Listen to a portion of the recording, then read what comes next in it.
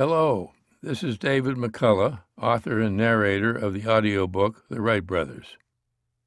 I found the life and times of the Wright brothers to be a profoundly American story about two of the most remarkable Americans of all time,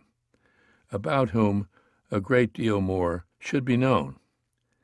and how much more there was to them than what is commonly said or taught. They were men of exceptional gifts,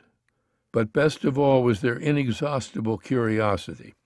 and the desire, the determination to do things right, and to not let setbacks stop them in their mission. They were far more interested in far more about art and music and architecture and history and reading than most people have had any idea. And truly, one of the most fascinating parts of the whole story for me in doing the research has been the part played by their exceptional sister, Katharine, without whom I'm inclined to believe things would not have turned out as they did. I think one of the greatest surprises for me, and an example that I will take to heart, and I hope others will take to heart from now on, and that is their capacity, their talent for using our English language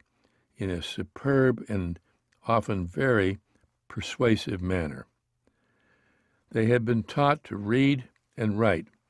at home by their father primarily, and because they never stopped reading, and because they could express themselves so effectively, they were carried through to success with their work in a way they might not have been otherwise. And I hope, in particular, that that example will reach an enormous number of young people trying to make their mark, trying to live up to their aspirations in the times that we have now. I feel also very strongly that there are lessons to be learned from their lives, how they conducted themselves, how they behaved as gentlemen and citizens, their loyalties, their honesty, their modesty, that we very much need to be reminded of, particularly in our own time. I'd also like to say that I believe strongly in the audio form of literature, history, and biography. I feel, I felt my whole writing life, as was demonstrated by so many of the greats of the past, Dickens, for example,